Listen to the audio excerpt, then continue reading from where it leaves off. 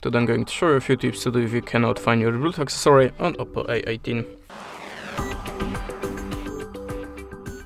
So when I have a problem with my headphones or another Bluetooth gadget, I am always starting from the simplest way, just switch off and switch on again the Bluetooth connection to restart it.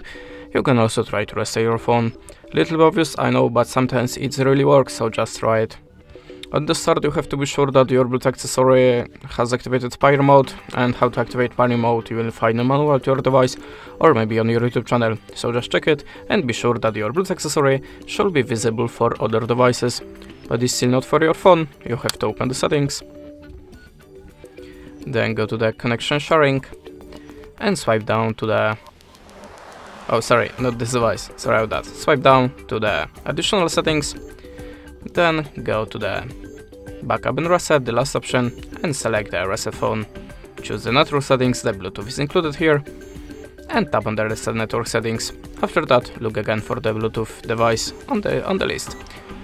In the next step, you can also try to update your system, so go back to the settings, choose the About device, and tap on the ColorOS. Now, if you have any updates, just install it.